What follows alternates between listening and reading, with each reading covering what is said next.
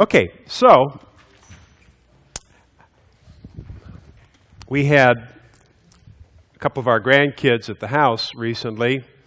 One of them is a three year old. And so, you know, you just got to love a three year old kid. I mean, everything you need to know about how much God loves us and cares about us, you can learn from a three year old because of the way that, that you interact with them. So little Callie came down the steps one day and she said, I got dressed all by myself today, and my mommy helped me. There's a little confusion there on the part of a three year old, yeah? So then uh, in our library, I went in there, and, and when I was in Kenya a number of years ago doing um, some ministry, I was able to go to the big game park there. I forget the name of it. Does anybody remember that? The Ken?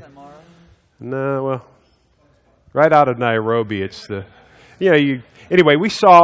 I mean, it, it was basically uh, a free zoo. When I say free, the animals are free, and it was just amazing. We saw these giraffe herds and things like that. So, I ended up buying a giraffe in Nairobi, Kenya as sort of my souvenir of the trip. And so, if you can see it up close, this one obviously is, a, is now a toy. The ears are gone. So, anyway, I go into the library, and there's my little three year old, you know, trotting around with the giraffe. And I said, Callie, I said, that's great that you're playing with that giraffe. Do you know where I got that giraffe? She said, Yes. And I said, well, that's great. Where did I get that giraffe? She said, Target. know, little kids, uh, there's, a, there's a relationship between knowledge and being in control. And little kids, like big kids, want to feel like they're in control. You want to be in control and having knowledge or thinking you have knowledge gives you at least the illusion that you have control. We're going to look at a text this morning and see this relationship between knowledge and confusion. I'd just like you to keep in mind that as we look at these little kids, now, was, was, was there anything, is there anything evil about a little three year old child coming up with these ideas about what the truth is and what knowledge is and where something came from? No, not really. It's just, it's just, the, it's just the nature of a three year old. And, and you, as an adult man, is, is there really anything wicked or evil about the fact that you don't know as much as you think you know? Not really it, it, there's just confusion. When the Father looks at you, he must certainly look at you in much the same way that you would look at your three year old grandchild or your three year old child. So, what I want to do today is, is I, I want to put before you uh, a decision. I'm going to ask you, or I'm going to give you the opportunity to make or reaffirm what appears to be the, one of the most risky decisions that a man can ever make, and that's to give up control. That's what we're going to talk about today. Now, you may not be ready to, to make or reaffirm that decision to give up control. And if you're not, I at least want you to understand what this decision is so that when you are ready to give up control of your life, you will know what needs to be done. Open your Bibles to John chapter 9, verse 35. We're going to do a shout out today to uh, the man in the mirror men's Bible study. Hey, these guys stole our name. Oh, they are us. These are eight to ten men who have been meeting for ten years on Sundays at 9:40 at the Violet Baptist Church in, uh, s- say it, Pickerington. Ohio. And I'd like to say thanks to these men and to Jim Rice. And would you join me in giving a warm shout out to these guys? Hoorah! Welcome, guys. And uh, so the talk message title today Why the Blind Man Could See What the Others Could Not See. We have looked at this passage with respect to the blind man getting his sight. And we talked about the last time we were together that suffering is the magnificent canvas upon which God displays his power and his glory. We're going to use the, the, the end of this story, which we did not look at last time. We're going to take a turn and we're going to look at what this blind man was able to see that the others couldn't see. John chapter 9, verse 35. Jesus heard that they had thrown him out. So, what had been going on is that there had been this uh, big debate. There's a lot of confusion. The, the religious people, you know, you know, when you have a belief system, when you believe things for a long time, whether it's about religion or anything else, you get invested in those ideas. And, uh, you know, a made up mind is almost impossible to change. So there is some sense in which being a little piece of clay, moldable clay, never having had any spiritual beliefs, in, in some ways, in some ways, really is easier than coming up with a very uh, concrete religious worldview that you've developed. And, but, but that's what's happening here is these people are very vested in what they believe. They have a lot of knowledge. Now, I I love knowledge, and knowledge is good. I'm a lifelong learner. I have a PhD for crying out loud. I'm committed to knowledge. I love knowledge, and knowledge is important, useful, valuable, and we want it. But knowledge also brings with it a risk. And uh, we see this risk in this passage. Jesus heard that they had thrown the blind man who had been healed out of the synagogue and when Jesus found him, he said, Do you believe in the Son of Man? Who is he, sir? The man asked. Tell me so that I may believe in him. And then Jesus said, You now have seen him. In fact, he is the one speaking with you. And then, one of the most sublime moments in Scripture, the man said, Lord, I believe. And he worshiped him. Then Jesus went on to say, For judgment I have come into this world, so that the blind will see, and those who see will become blind. Now, Jesus didn't come to for the final judgment, separating the sheep and the goats, but he came. He came to be a a a, uh, a line in the sand. Jesus came in the, to be a line in the sand that people would make a choice. They would go to the left or to the right.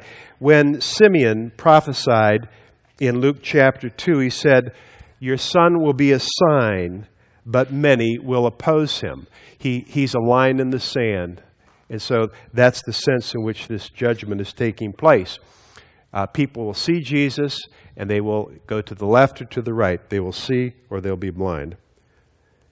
Whoops. New string, new shirt, string.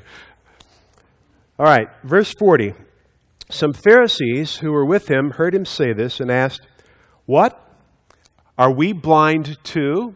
So these people with all this religious knowledge about the Messiah and all these preconceived ideas about what religion ought to look like, think about your own religious tradition. Think about the things that you hold to dearly that other people don't hold to so dearly.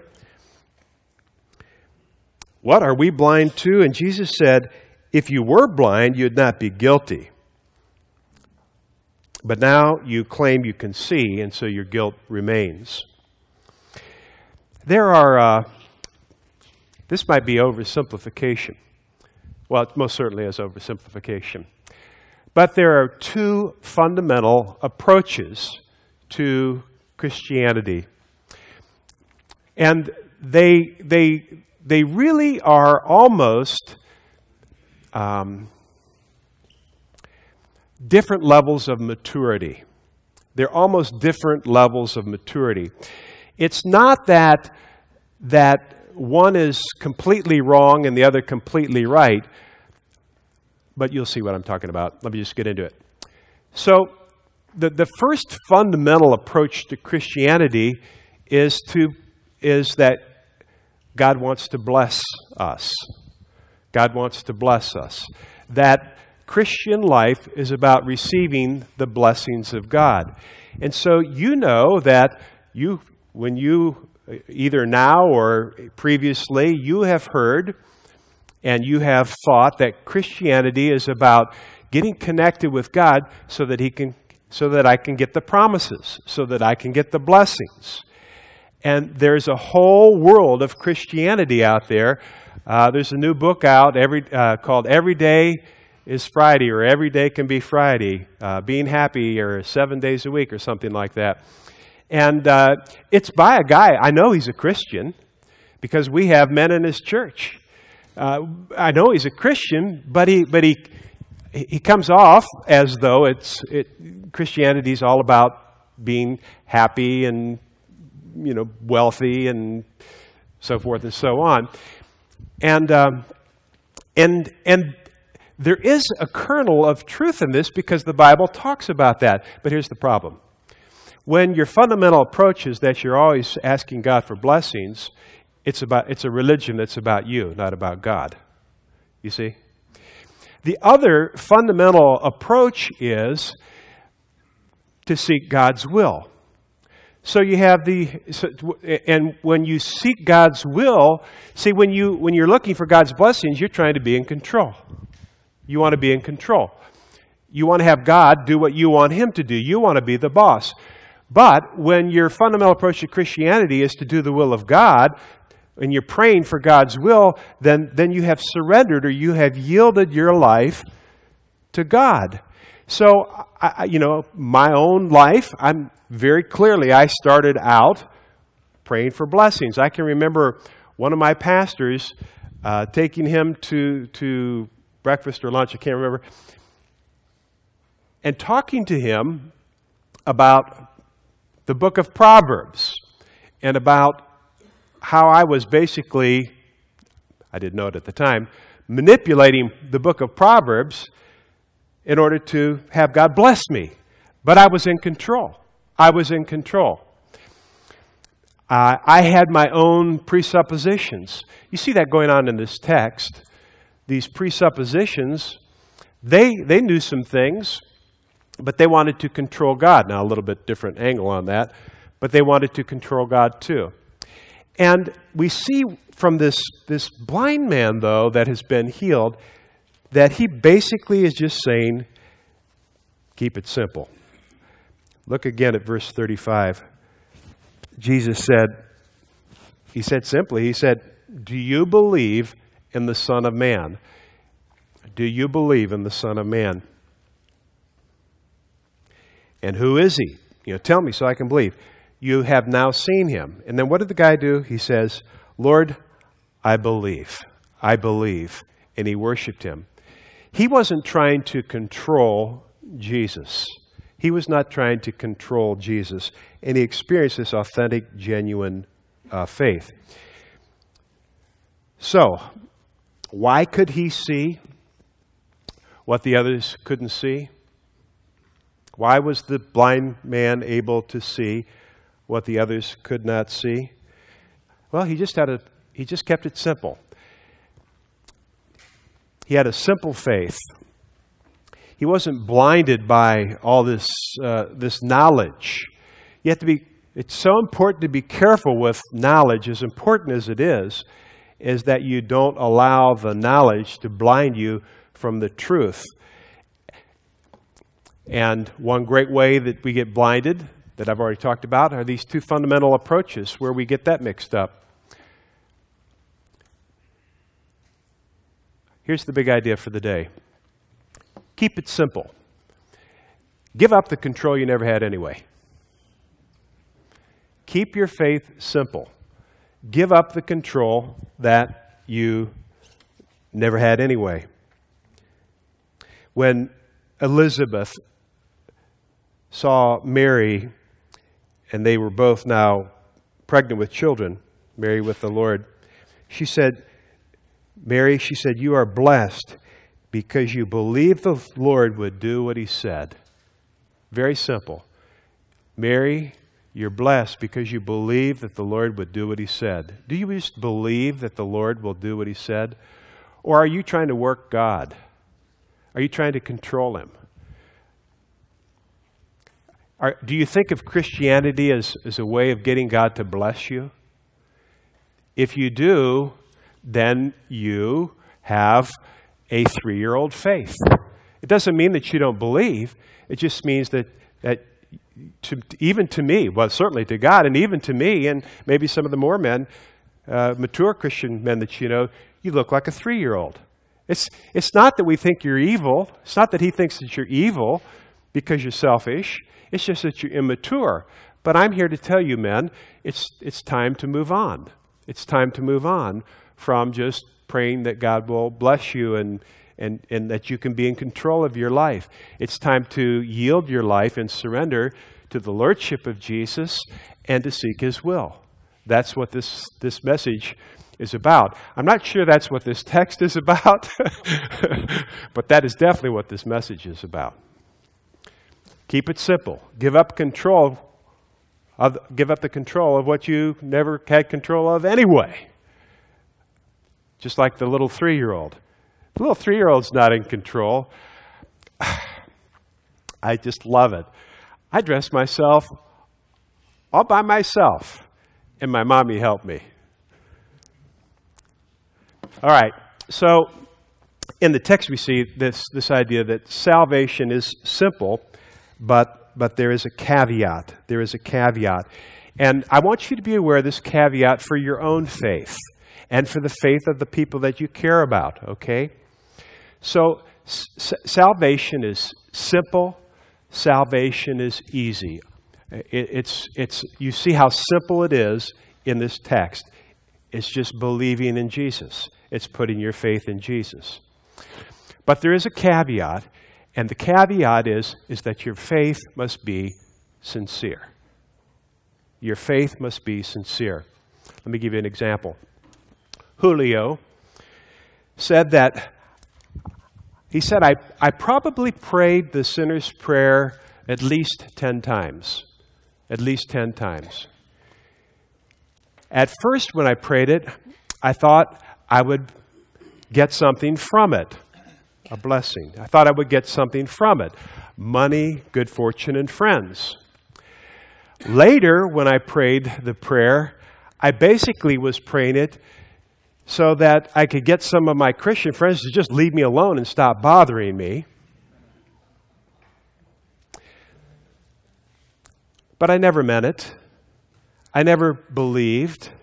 I never made Jesus Lord, not even for one minute.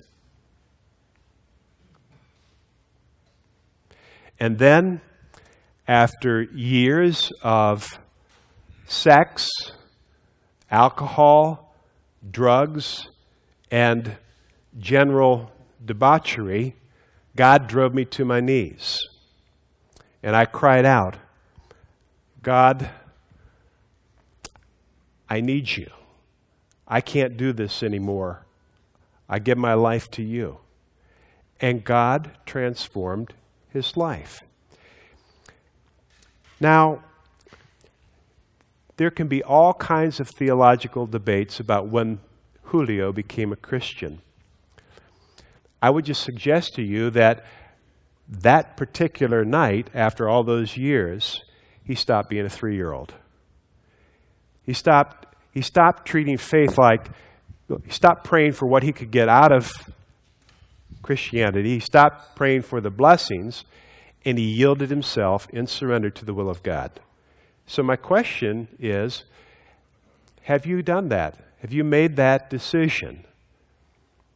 Which seems awfully risky to give up control of your life. Or, or do you need to reaffirm that decision?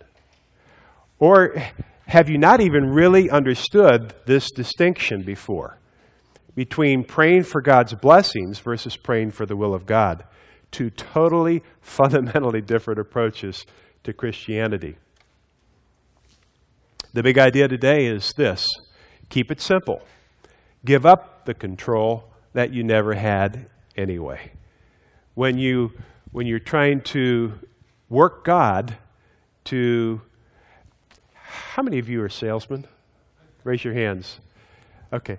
A lot of us are salespeople. And uh, what do we do? What do we do? We want something, and so we develop a very persuasive argument to make that happen. We, we're, we're trained to try to control the events, right?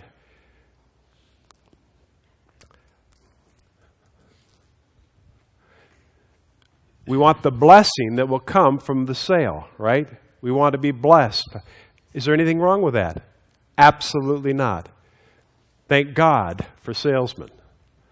Thank God for the, the processes that keep things moving in the economy. But when we get to our faith in Jesus, He doesn't want you to be trying to persuade Him. He doesn't want you to be working Him. He doesn't want you to try to be in control. In fact, what He wants you to do is to give up control of your life. What an incredibly risky decision to consider. So, how do we do that? How do we keep it simple?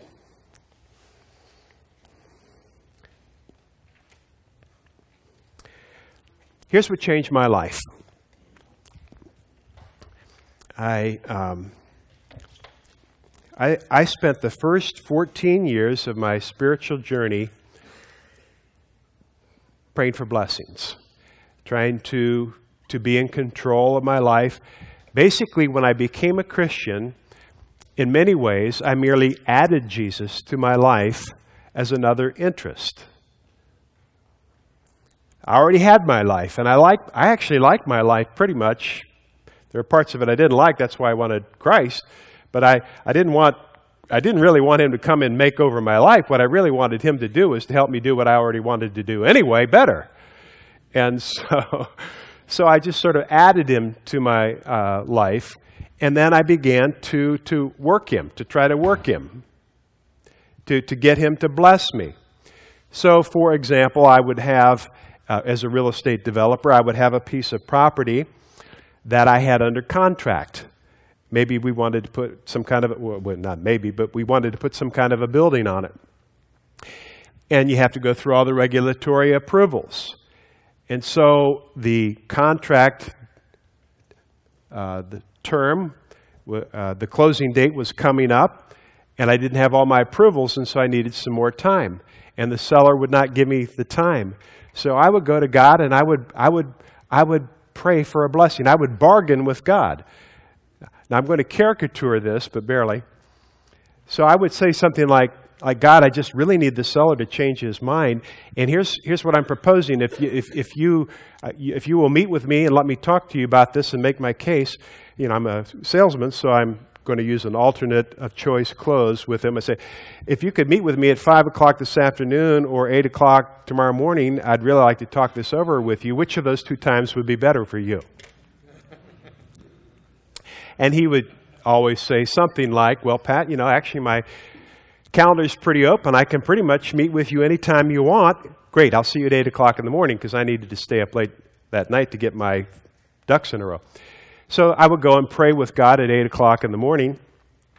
And I'd say, Now, God, I've got this situation. The seller won't extend, and I need the extension. Otherwise, I'm going to, you know, lose all the money uh, that I put into the engineering and all this, and it's going to be catastrophic.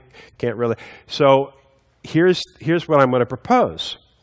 If you will intervene and change the seller's mind, I will commit to split the profits with you 50 50, and we'll both be better off. What do you think?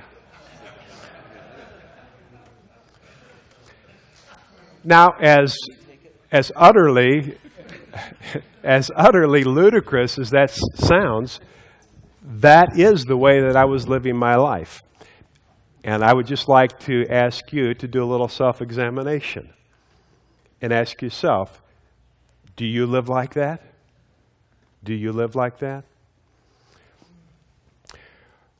Well, um, the, the vacuous hollowness of that approach got to me at the 14 year mark, and I came to a, uh, a point of yielding my life. And so I wrote in the front of this, this Bible, which is a gift from my kids, I wrote, I want to live the rest of my earthly life for the will of God. And really meant it, still do. At the time, I thought I was doing God a favor, you know. Uh, lucky God. Imagine what he can do now that I'm on his will, you know. And so, uh, but here's the risk. This is, this is why giving up control of your life seems like su- such a risky decision. And you should understand this. When I was in control of my life, life was, was, was not perfect, but it was pretty doggone good. But when I switched from asking God for his blessings to asking God for his will, wow. It's as though God said, Wow, Pat, I, now that I really have your attention here, I have a lot of things I need to show you. And so he, he basically started this process of me living the rest of my earthly life for his will by crushing me like a bug. So how, how, do you, how many of you want to make that decision now?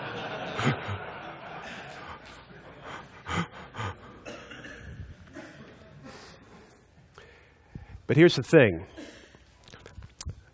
Short term pain, long term gain. Just think about, or at least I think about, what would have happened in my life if I had kept seeking God's blessings instead of turning to seek, seeking His will. I know what would have happened to me. You know what would happen to you. Maybe it's already happened. That doesn't mean you can't be redeemed. But I know what would have happened to me. I would be a bitter, angry person. I'd be filthy, stinking rich. I would be flying all over the country in, in a private aircraft. And I would be divorced. I would be alienated from my children. And I would be utterly alone. I know that about myself. I know that about myself. So that's the decision. Do you, do you make the decision that appears to be very, very risky to give up control of your life or reaffirm that decision? Or do you just keep trying to be in control? Big idea here today is this. Again, keep it simple. Give up the control you never had anyway. You never really had the control. Because remember, even though you think you're in control, you look like a three year old to the rest of us. Now, you may not be ready to make this decision today, but at least now you know what it is. Am I going to, am I going to treat Christianity as something where I go and pray to get God to bless me? Or am I going to treat Christianity as something where I pray to do the will of God? Those are two fundamentally different approaches. And for those of you who are ready to make the decision or reaffirm the decision, let's do that now in prayer. Our dearest Father, we come to you humbly. Lord, it does seem like a risky decision to give up control. It does. And it would be, it would be a falsification of the gospel to promise men, Lord, that if they would give up control and seek your will, that life is going to get better. It may not. It actually, for a season, may get worse. But we know God, every one of us hearing these words right now, we know that this is true. that the life we want will not ultimately come because we keep praying for blessings and making it about us. Ultimately, we, we do know that your spirit is telling our spirits right now that ultimately the way that we will experience true joy is when we give up control of our lives to the will of God. And so, Father, right now, by faith, and if you want to, say this in your own brain, however you want to, we give up control. We want to keep it simple. We recognize we never really had control anyway. We realize that we must look to you like a three year old. Lord, we do believe, but we don't want our faith to be about what's in it for us and just constantly getting you to bless us. We want to grow up and be mature. And so, right now, by faith, we give you control. We say, by your grace, I want to live the rest of my earthly life for the will of God. Amen.